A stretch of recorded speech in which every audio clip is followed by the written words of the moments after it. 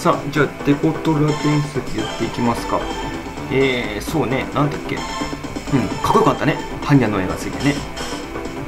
そうでもないですか。310だって正直金は。少なくなりましたね。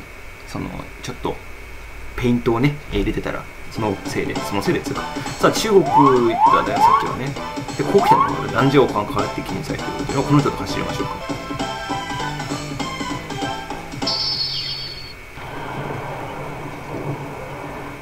こいいね。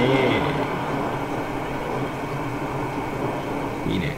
俺思ったんだけどさ荷物ぶっ壊したらそんだけもらえるポイント減るんだよね。でもさレースに負けたらさポイント一つもらえないんだよね。ってことはさ全てのレースでほとんどあの物ぶっ壊しながらぶっ壊してポイントもらえない状況でストーリー進めたらさポイントもらえあの物ぶっ壊すがポイントもらえない。でもかか勝ってもね。で負けたらポイントゼロだから何一つ車かすんでけんじゃないのって思ったんだけど。あでもいいのか。性能変わらないから。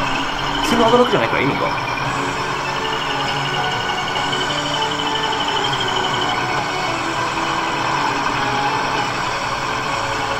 さあ鉄板積んでるのなんかスピードに影響が出そうって書いてあるんですけどまだ鈍感なんで分かんないですね。あのスピードがどうなってるのか。上がってるのか下がってるのか。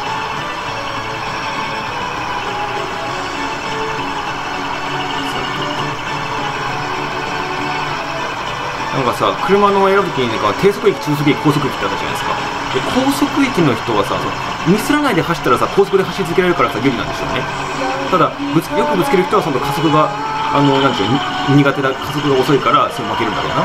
で低速的選んだ人はさぶつかった時のリカバリーができるぶつかった後に加速が速いからさあまあいいんだけどでも高速伸びないからさ突き詰めていくとあれですよね。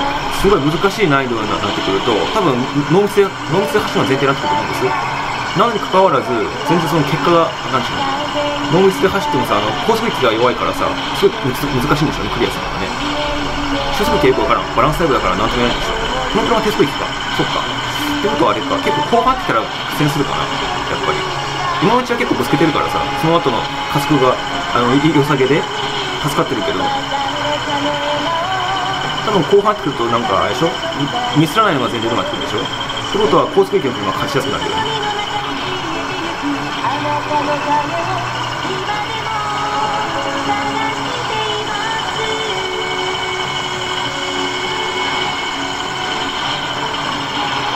わうわうわうわうわうわうわうわうわ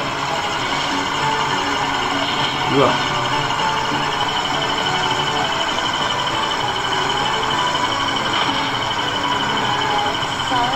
間に合うかな？荷物はぶっ壊れてないね、まあ、今のところ。ね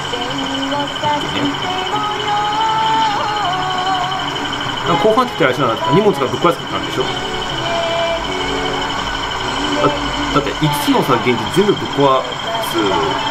走りできないもん今の今のところ。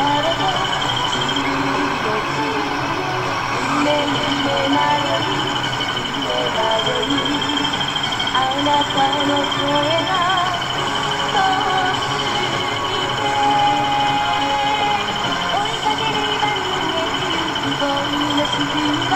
やばいやばいやばい。これ勝たないかもさあスイー来てきた。スイー来た。いけるぞ。いけ。おお気持ちいい。結構気持ちいい。さあゴールどこだ？残り20秒。間に合うのか。間に合うのかこれ本当に直線が長い直線来ると結構あゴール近いんだなと思うんですけどまだかまだか。来い。なんか緑色の表示が来るとそうなんだけど。来た。なんかそれっぽい来た。来た。後ろがすごいすごい来た。なんだこれ勝てない。ずるい。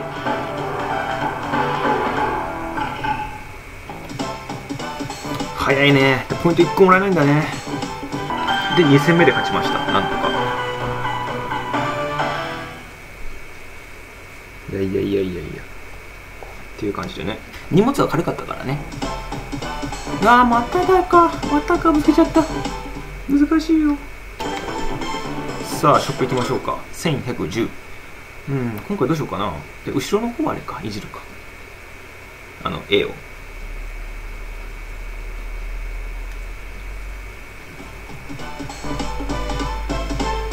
トラック好きではないですよそんなの私は。本当は何個も好きです。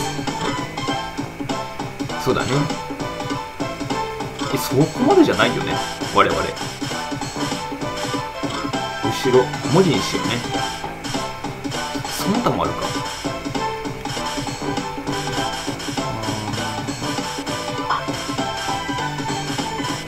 夢とかね。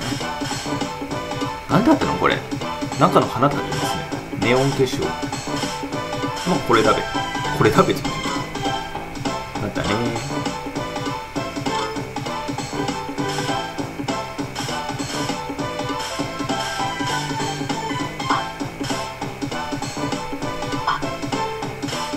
上はできるか？あそのまそこまでのお金はなかったか。